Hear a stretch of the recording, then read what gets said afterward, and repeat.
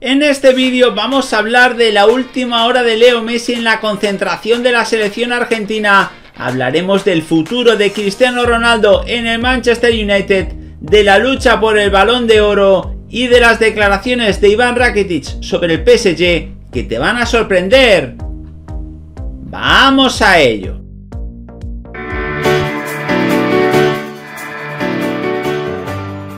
Hola de nuevo gente, ¿cómo estáis? Bienvenidos a un nuevo vídeo de Objetivo Gol. Vamos con la última hora de Leo Messi de las grandes estrellas del fútbol. Por tanto, te animamos a que te quedes hasta el final del vídeo y a que nos dejes un buen like.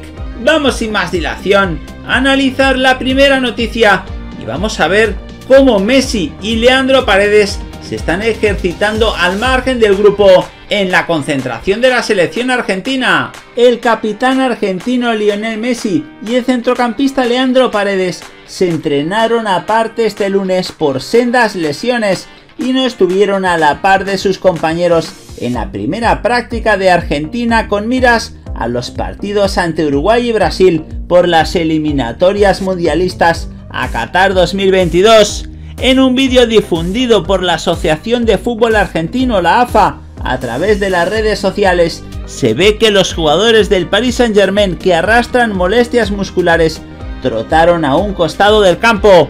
Diferenciados, Lionel Messi y Leandro Paredes hicieron labores diferenciadas del grupo seguidos de cerca por uno de los kinesiólogos del plantel, sostuvo la AFA en su sitio web. Los futbolistas que jugaron en la jornada de ayer hicieron ejercicios regenerativos en el gimnasio, mientras que el resto ensayó acciones coordinativas, técnicas y tácticas en espacio reducido. Posteriormente, el director técnico dispuso dos bloques de fútbol en espacio reducido, divididos en tres equipos y con diferentes consignas. Así lo añadió la AFA. La pulga lleva casi dos meses con molestias en la rodilla izquierda y Paredes sufrió un desgarro en el cuádriceps a mediados de octubre. Ellos dos y Ángel Di María del Paris Saint Germain llegaron al país el domingo por la mañana y fueron los primeros en ingresar a las instalaciones que tiene la AFA en Ezeiza, provincia de Buenos Aires. El resto de los futbolistas llegó al país en las horas posteriores la selección argentina de fútbol tiene programados entrenamientos para el martes por la tarde y el miércoles por la mañana. La albiceleste visitará Uruguay el 12 de noviembre en la decimotercera jornada de las eliminatorias para el Mundial de Qatar 2022 y recibirá el 16 del mismo mes a la Canariña por la fecha siguiente.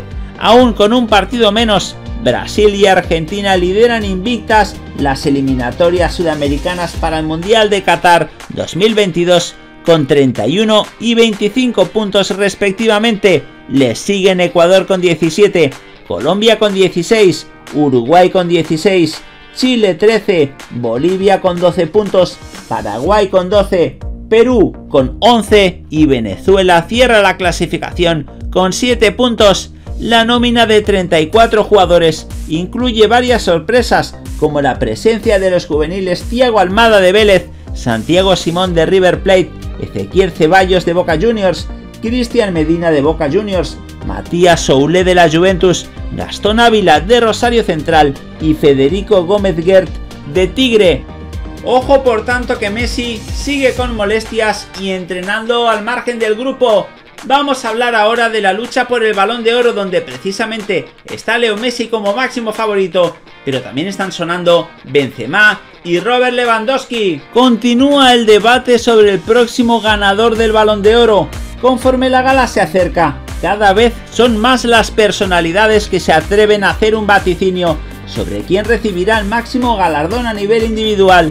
En el mundo del fútbol, el último en mojarse fue Yago Aspas, el delantero del Celta de Vigo dejó claras sus preferencias durante una entrevista en el partidazo de Cope. Me gustan Benzema y Lewandowski. Al ver el estado de Salah en noviembre, también se lo daría a él. Igualmente, me decanto por Robert Lewandowski. Por tanto, esta es la apuesta de Yago Aspas de cara a la próxima ceremonia del Balón de Oro. Vamos a hablar ahora del futuro de Cristiano Ronaldo en su actual equipo, en el Manchester United.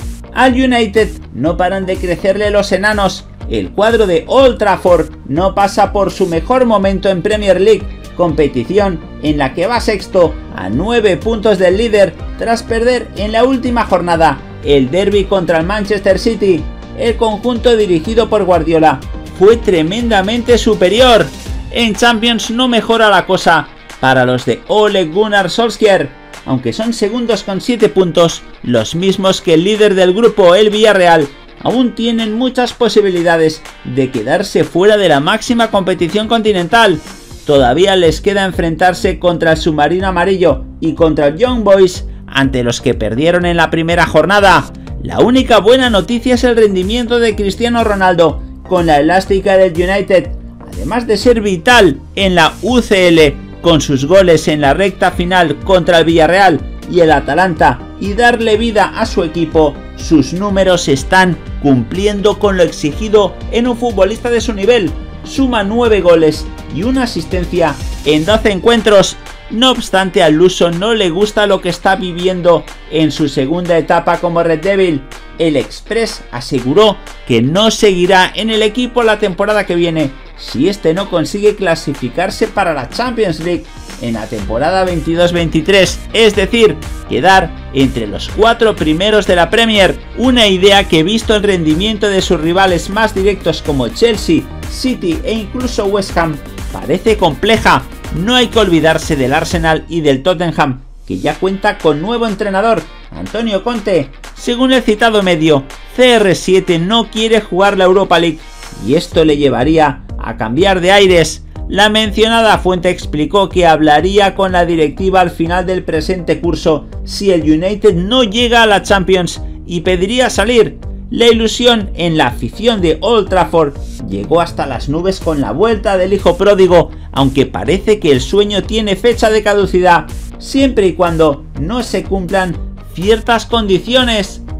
Vamos a hablar ahora de unas declaraciones de Ivan Rakitic sobre su frustrado fichaje por el Paris Saint Germain. La marcha de Rakitic del club culé pudo producirse antes pero con otro destino, el PSG. El cuadro del Parque de los Príncipes estuvo muy interesado en hacerse con los servicios del croata un par de veranos atrás, pero la operación no llegó a buen puerto. Sobre este interés del PSG habló precisamente Rakitic en una entrevista concedida a Bain Sports. El balcánico admitió que hubiera sido muy bonito defender la camiseta del conjunto galo, pero que no se dieron las circunstancias para ello y lo dijo así, me gustaría haber jugado en el PSG, si falta un centrocampista, Nasser o Leonardo me pueden llamar mañana. Ya en serio, el fichaje no se llevó a cabo por varias razones, tanto estas son las últimas noticias del fútbol mundial. Nos gustaría saber vuestra opinión al respecto de cualquiera de estas noticias y que por favor nos la dejéis en los comentarios justo debajo de este vídeo. Nada más por el momento, como siempre animaros a que os suscribáis al canal para seguir viendo todos nuestros vídeos. Y aquí os dejamos este vídeo más que interesante para que sigáis disfrutando de todas las noticias del fútbol. ¡Hasta la próxima!